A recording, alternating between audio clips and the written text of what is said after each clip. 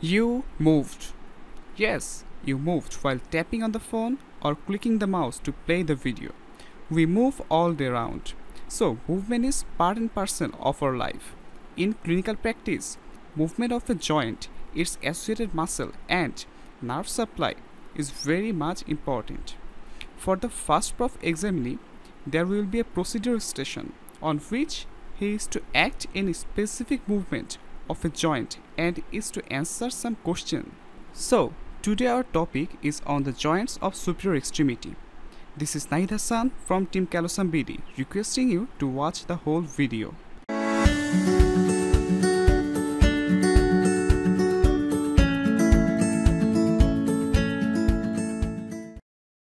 In superior extremity, the joints are shoulder joint, elbow joint, radial ulnar joint, wrist joint, metacarpophalangeal joint, and interphalangeal joint. Our first joint is shoulder joint. This is ball and socket type of synovial joint. The movements of shoulder joint are flexion, extension, adduction, abduction, medial rotation and lateral rotation. Now we are gonna see the movements from our subject. Flexion of shoulder joint, extension, flexion, extension, flexion, extension, adduction, abduction, adduction, abduction, adduction, abduction. Okay. Now, medial rotation of shoulder joint, lateral rotation, medial rotation, lateral rotation, medial rotation, lateral rotation. Now, circumflexion of shoulder joint. Circumduction. Circumduction. Here, the prime movers or main muscles of flexion is clavicular part of pectoralis major and anterior fiber of deltoid muscle and accessory muscles are biceps brachii, coracobrachia are posterior fiber of deltoid and latissimus dorsi. And accessory muscles are teres major and long head of triceps. In adduction, prime movers are sternocostal part of pectoralis major and latissimus dorsi and the accessory muscles are teres major, coracobrachialis, short head of biceps, long head of triceps. In abduction, the prime movers are lateral fibers of deltoid and supraspinatus and accessory muscles are serratus anterior and upper and lower fiber of trapezius.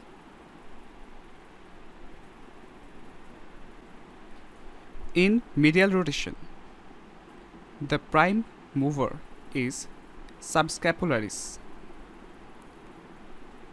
And the accessory muscles are pectoralis major, latissimus dorsi, anterior fibers of deltoid and teres major. And in lateral rotation, the prime mover is posterior fiber of deltoid and accessory muscles are infraspinatus and teres minor. Our next joint is elbow joint. The type of the joint is hinge type of synovial joint.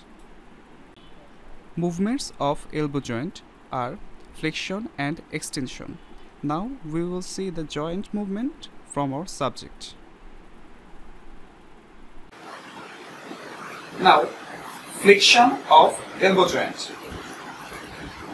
Extension. Flexion. Extension. Flexion. Extension. Well, we saw the movements. Now we will discuss on the prime movers of the movements. In flexion, prime movers are brachialis, biceps brachii, and brachioradialis. In extension, prime movers are triceps and anconeus. Now we will discuss on superior and inferior radioulnar joint. Type of the joint is pivot type of synovial joint. Movements of superior and inferior radioulnar joint are supination and pronation. Now we will see the movements from our subject.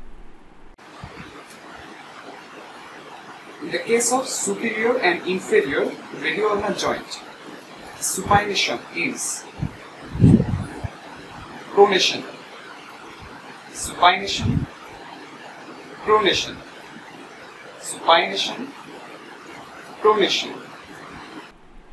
Here, the prime movers of supination are supinator, biceps brachii, and brachioradialis. Biceps brachii supinates the forearm while the elbow is flexed, and brachioradialis supinates the pronated forearm to mid-prone position. In case of pronation, the prime movers are pronator teres, pronator quadratus, and brachioradialis. It pronates the supinated forearm to mid-prone position. Our next joint is wrist joint. The type of the joint is ellipsoid type of synovial joint. Wrist joint can show four type of movements flexion, extension, abduction and adduction. Now we will see the movements from our subject. Adduction of wrist joint. Abduction. Adduction. Abduction. Adduction. Abduction.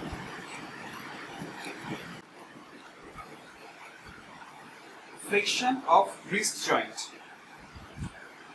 Extension. Flexion. Extension. Flexion. Extension.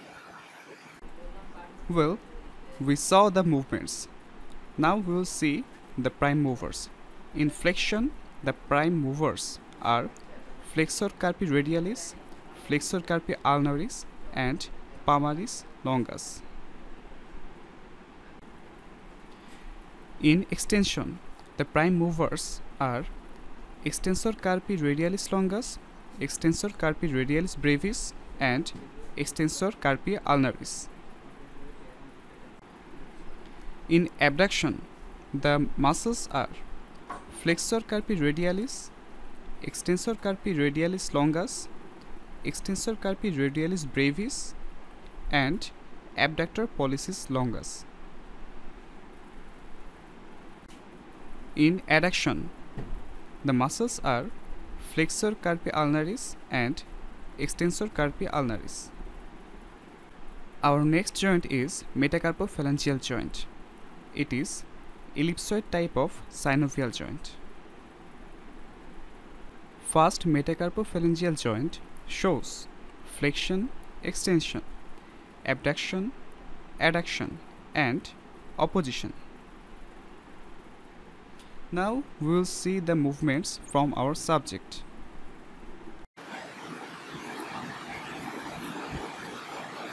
In the case of fast metacarpophalangeal joint, flexion, extension, flexion, extension, flexion, extension, adduction, abduction, adduction, abduction, adduction, abduction. opposition again opposition. Again opposition. So we saw flexion extension abduction adduction and opposition of first metacarpophalangeal joint. In flexion the prime movers are flexor pollicis longus flexor pollicis brevis and opponens pollicis. In extension, the muscles are extensor pollicis longus and extensor pollicis brevis. In abduction, the prime movers are abductor pollicis longus and abductor pollicis brevis. In adduction, the prime mover is adductor pollicis and in opposition, the muscle is opponens pollicis. In the case of second, third, fourth and fifth metacarpophalangeal joint, the movements are flexion, extension, abduction and adduction. Now we will see the movements from our subject.